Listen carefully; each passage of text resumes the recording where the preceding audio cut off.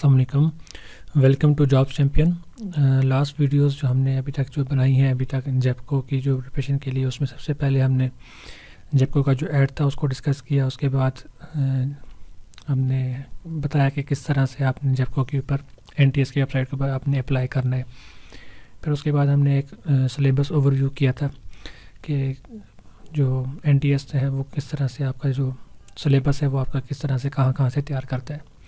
ठीक है उसमें जो मेन पॉइंट था वो ये था कि जो सिलेबस एन की वेबसाइट पर शेयर किया जाता है एनटीएस वाले कभी भी उसको फॉलो नहीं करते। ठीक है ये मेरा एक्सपीरियंस है फाइव टू सिक्स टेस्ट मैंने दिए हैं एनटीएस के लास्ट जो इलेक्ट्रिकल से रिलेटेड हुए हैं। उनमें ये चीज़ नोटिस की गई है कि एनटीएस वाले जो सिलेबस शेयर करते हैं उसको कभी फॉलो नहीं करते।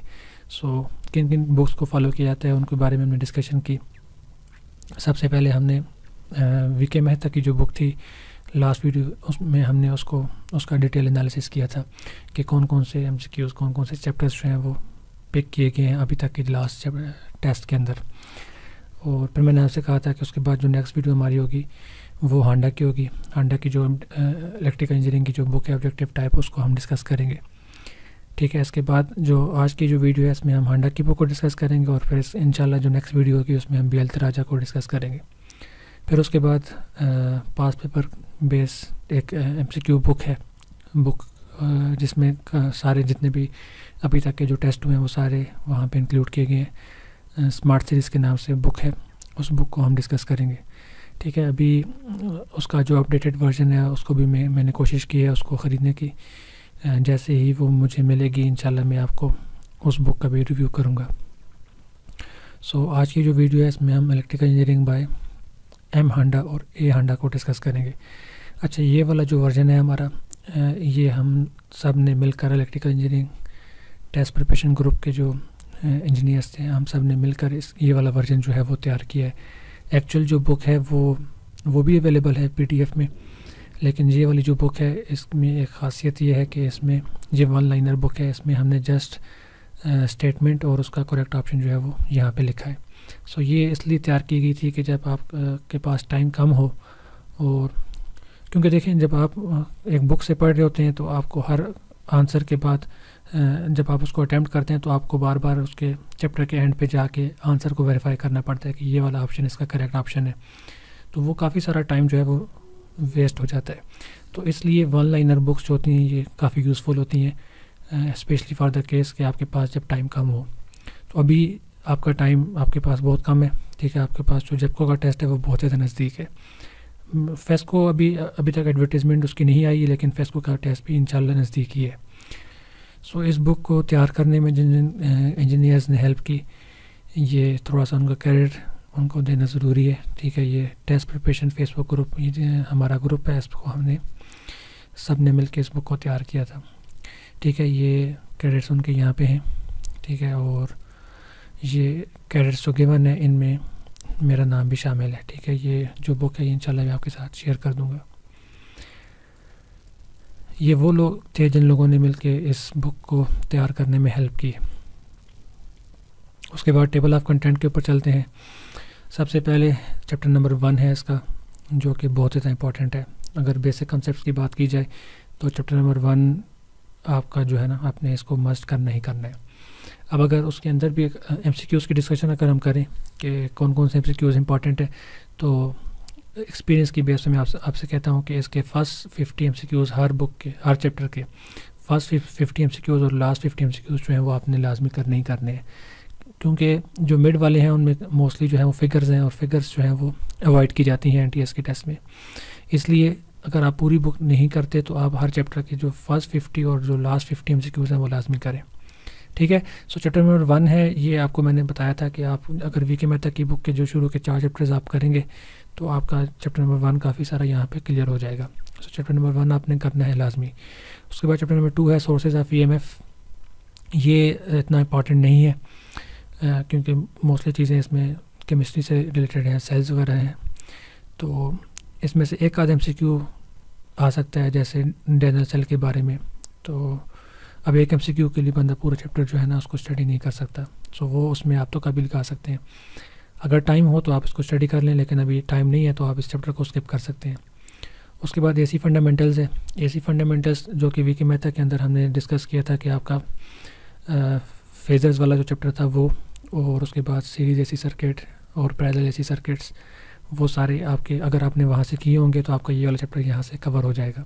ठीक है? सो इसमें जो मेन चीज़ें हैं वो ये हैं कि आपकी आर एम एस वैल्यू क्या है, क्या होती है, आपकी एवरेज वैल्यू क्या होती है फॉर्म फैक्टर क्या होता है। सो ये बेसिक डेफिनेशन हैं, अगर आपने याद की हो, आपको पता हो कॉन्सेप्ट पता हो तो आप इस चैप्टर को ईजिली कर सकते हैं। सो ये भी इंपॉर्टेंट चैप्टर है। उसके बाद आर एल सी सर्किट्स है। आर एल सी सर्किट्स यहाँ पे सिर्फ़ एक चैप्टर है वीके मेहता के अंदर इसके दो चैप्टर्स हैं, जिसमें series R L C circuit और parallel R L C circuits हैं। तो या तो आप उस, उसके दो चैप्टर कर लें या फिर इसका एक चैप्टर ये वाला कर लें तो ये भी इतना ज़्यादा इंपॉर्टेंट नहीं है, क्योंकि मोस्टली इसमें फ़िगर्स हैं। तो फिगर्स के अलावा जो क्वेश्चन हैं, उनको आप अटैम्प्ट कर लें। उसके बाद नेटवर्क थ्योरी है। ये भी आपका चैप्टर नंबर थ्री था वी के मेहता के अंदर।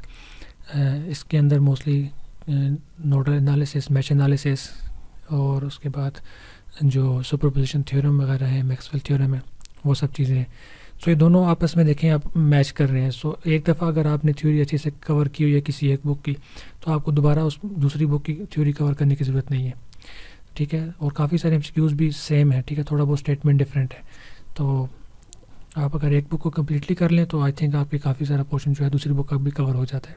सो नेटवर्क थ्योरी इसको कर लें, लेकिन जो कम्प्लेक्स सर्किट्स हैं, आप उनको छोड़ सकते हैं स्किप कर सकते हैं।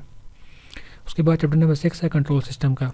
कंट्रोल सिस्टम के एम जो इस बुक के अंदर हैं बहुत कम रिपीट हुए हैं किसी भी टेस्ट के अंदर। ठीक है कंट्रोल सिस्टम मोस्टली जो है वो बी एल तराजा की जो बुक है वहाँ से पिक किए जाते हैं। सो so, इंशाल्लाह जब हम बी एल तराजा की बुक का रिव्यू कर रहे होंगे तो उसमें हम ये बताएँगे कि कंट्रोल सिस्टम जो है वो आपका उस बुक से इम्पोर्टेंट है। सो so, थ्योरी आप कर लें किसी भी बुक से। ठीक है तो कंट्रोल सिस्टम आपका इतना मुश्किल पोर्शन नहीं आता। उसके बाद इंजीनियरिंग मटीरियल है। इसमें अगर टाइम बचता है तो इसको बिल्कुल एंड पे आप करें इतना इंपॉर्टेंट नहीं है।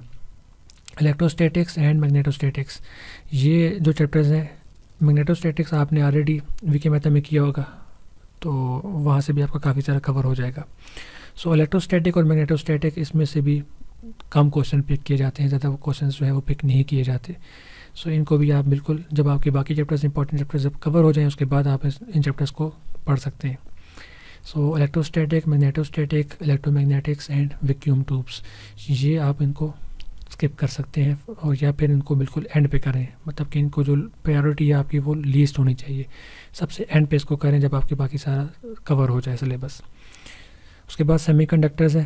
ठीक है ये आपने आ, उसमें किया होगा वीके मेथा के अंदर सेमी कंडक्टर्स और ट्रांजिस्टर्स और एम्पलीफायर्स वहाँ से अगर आपने नहीं किया तो यहाँ से कर लें ठीक है? M C Qs almost same है क्योंकि मैंने तीनों बुक्स ये हैं लास्ट ईयर में मैंने ये सारी बुक्स जो हैं वो कवर कर ली है। सो मुझे अंदाज़ा है कि कहाँ किन किन बुक्स के अंदर कौन कौन से एम जो हैं वो सेम है। सो so, थोड़ा बहुत कॉन्सेप्ट का डिफरेंस होता है सो so, ज़्यादा डिफरेंट नहीं होता डिफरेंट नहीं होता है जो है ना कॉन्सेप्ट तो आप सेमी कंडक्टर ट्रांजिस्टर्स और एम्पलीफायर्स सेमी कंडक्टर और ट्रांजिस्टर काफ़ी ईजी है एम्पलीफायर क्योंकि मैं ख़ुद भी इलेक्ट्रिकल पावर इंजीनियर हूँ तो मेरे लिए थोड़ा टफ था। सो so, काफ़ी टाइम लगा तीन से चार महीने लगे मुझे इस चैप्टर को कवर करने में। तो ये आपके लिए टाइम कंज्यूमिंग हो सकता है। उसके बाद डिजिटल इलेक्ट्रॉनिक्स ये आपका डीएलडी का पोर्शन है जो कि आपने डिजिटल लॉजिक डिज़ाइन में आपने पढ़ा था। तो ये भी इतना मुश्किल नहीं है क्योंकि डीएलडी जो है वो मेरा one of my favourite subject था। मुझे काफ़ी आसान लगा इसका ये जो डिजिटल इलेक्ट्रॉनिक्स का पोर्शन है। क्यों? बीच में इसमें काफ़ी सारी नंबर सिस्टम की कन्वर्जन है जो कि टाइम कंज्यूमिंग है तो इस तरह के क्वेश्चंस नहीं पिक किए जाते। आसान आसान कन्वर्जन आती है बाइनरी से डेसिमल या ऑक्टल में तो वो आप इजीली कर सकते हैं। उसके बाद आते हैं जी चैप्टर नंबर सेवनटीन पे। सेवनटीन और एटीन ये हंडा के इंपॉर्टेंट चैप्टर्स हैं, ठीक है? अगर कोई भी अगर टेस्ट हो तो आपके ये जो D C generator D C motor D C machine का पोर्शन हर टेस्ट में लाजमी इंक्लूड किया जाता है। सो इस इन चैप्टर्स को आपने लाजमी करना है वेब नोमेरिकल्स नोमेरिकल्स की बहुत ज़्यादा इंपॉर्टेंस है, खासकर डीसी जनरेटर डीसी मोटर के अंदर। उसके बाद ट्रांसफार्मर है ट्रांसफार्मर का जो इक्वलेंट मॉडल है वो इतना इंपॉर्टेंट नहीं है, लेकिन इसके जो बेसिक कॉन्सेप्ट हैं वो आपको पता होने चाहिए। सिक्रोनस जनरेटर है सिक्रोनस जनरेटर से भी लाजमी एक दो एम सी क्यूज़ पिक किए जाते हैं। सो ये एक एक, दो दो एम सी क्यूज़ करके पूरा का पूरा आपका टेस्ट तैयार किया जाता है तो आप कभी भी किसी मतलब पूरे चैप्टर को स्किप नहीं कर सकते। ठीक है, आप ऑलरेडी बहुत सारे चैप्टर आप ऊपर हम स्किप करके आ चुके हैं, जैसे सोर्सेज ऑफ़ ईएमएफ है, उसके बाद ऑसिलेटर्स है, उसके बाद ऊपर वैक्यूम ट्यूब्स था। सो एक एक क्वेश्चन पिक किया जाता है रैंडमली तो जिस बच्चे ने सारी बुक की होती है तो वो उसकी किस्मत चमक जाती है। सो अभी के लिए अगर आपकी अभी आप तैयारी स्टार्ट कर रहे हैं तो इसलिए फिर जो इंपॉर्टेंट चैप्टर्स हैं, वो आप पहले करें। लेकिन लॉन्ग टर्म प्रिपरेशन के लिए, आपके लिए ये सारे चैप्टर्स जो हैं, वो इंपॉर्टेंट हैं। उसके बाद इंडक्शन मोटर है इंडक्शन मोटर से भी एम पिक किए जाते हैं। और सिंगल फेस मोटर से एम नहीं आते, आप इसको स्किप कर सकते हैं। उसके बाद जनरेशन है। जनरेशन और इकोनॉमिक्स ऑफ़ पावर जनरेशन ये वी के मेहता की बुक के अंदर आपने जो पावर सिस्टम का जो पोर्शन था, अगर आपने वहाँ से की हुई है तो सेम टू सेम वही एम जो हैं, वही टॉपिक्स जो हैं, वो इन दोनों चैप्टर्स में कवर हो रहे हैं। तो आप एक, किसी एक बुक से एक दफ़ा कर लें, आपका वो क्वेश्चन यहाँ से कवर हो जाएगा। यहाँ भी सिर्फ़ वही चीज़ें इंपॉर्टेंट है लोड फैक्टर डाइवर्सिटी फैक्टर और उसके बाद ये जो चीज़ें आपने वहाँ पे पढ़ी थी सारी वही वाली। Transmission and distribution this is the most important chapter ठीक है? Circuit breaker transmission line and cable आप इसको ट्रांसमिशन लाइंस और केबल्स ये जो अंडरग्राउंड केबल आपने पढ़ी होंगी, विकी मेहता की बुक के अंदर, ये वहाँ से पिक किया गया। अच्छा उसके बाद हाई वोल्टेज इंजीनियरिंग है। ये हमने, मैंने दिया था टेस्ट वापडा का, वापडा के टेस्ट में इसके, इस बुक के चैप्टर्स जो हाई वोल्टेज इंजीनियरिंग है, इसमें से बारह से पंद्रह एम जो है, वो इसी चैप्टर से पिक किए गए थे। So this is the most important chapter ठीक है? इस चैप्टर को आपने किसी सूरत भी स्किप नहीं करना। अगर आपको समझ नहीं भी आ रही तो इसको, इसके जो एम हैं, इनको आप याद कर लें, रटा मार लें, लेकिन इसको छोड़ना किसी ज़रूरत भी नहीं है। उसके बाद रेक्टिफायर्स एंड कन्वर्टर्स हैं। इनको आप यहाँ से छोड़ सकते हैं। ठीक है? एलुमिनेशन को भी छोड़ दें। इलेक्ट्रिकल ट्रैक्शन जो है, इससे भी एम आए हैं। ठीक है? दो तीन टेस्ट में मैंने देखे थे इसके एम सी अंडा के पिक किए हुए थे। लेकिन क्योंकि ये चीज़ें हमने नहीं पढ़ी हुई, इसलिए हम इसको फॉर द टाइम बिंग हम इसको छोड़ सकते हैं। लेकिन अगर आप एक दो साल के अंदर आप सब कुछ चीज़ें क्लियर करना चाहते हैं तो फिर आपको इसके एम भी करने पड़ेंगे। हीटिंग एंड वेल्डिंग को भी छोड़ दें इलेक्ट्रिकल मशीन डिज़ाइन को भी छोड़ दें, ठीक है इंडस्ट्रियल ड्राइव्स को भी छोड़ दें। पावर इलेक्ट्रॉनिक्स ठीक है, यहाँ पे एक चैप्टर है इसका पावर इलेक्ट्रॉनिक्स का। तो बेसिक बेसिक चीज़ें हैं इसमें, जैसे रेक्टिफाइज हैं, उनको आप पढ़ लें। ज़्यादा डिटेल में इसमें ना जाए। पावर इलेक्ट्रॉनिक्स एक इसकी जो टेक्स्ट बुक है, अशफाक अहमद की, वो बेस्ट बुक है। अगर आपको वो अच्छे से आती है तो आप पावर इलेक्ट्रॉनिक्स का कोई भी क्वेश्चन जो है, वो स्किप नहीं करेंगे। ठीक है सो वो मैं यही सजेस्ट करूँगा कि आप क्या करें। अशफाक अहमद की जो बुक है वो पावर इलेक्ट्रॉनिक्स की वहाँ से पढ़ें। उसकी जो एग्ज़ाम्पल्स अगर आप वो कर लेते हैं तो वेल एंड गुड कंपटीशन को भी आप स्किप कर सकते हैं। सो so, चैप्टर्स का मैं बताता हूँ कि चैप्टर आपने जैसे अभी ये चैप्टर नंबर वन है। ठीक है ये जो बुक थी ये बुक मैं आपके साथ शेयर कर दूँगा। देखें चैप्टर नंबर वन अब देखें वन लाइनर बुक है तो वन लाइनर बुक के लिए आपके पास देखें जस्ट आपके पास स्टेटमेंट है और आपके पास उसका करेक्ट ऑप्शन है। फिर उसके बाद स्टेटमेंट है और आपके पास करेक्ट ऑप्शन है। सो ये फाइनल प्रिपरेशन के लिए आपको इस तरह की जो बुक होती है वो काफ़ी हेल्प आउट करती है। लेकिन आ, मैंने तो मेरे पास तो हार्ड हार्ड कापी जो थी इसकी हांडा की भी पड़ी हुई थी।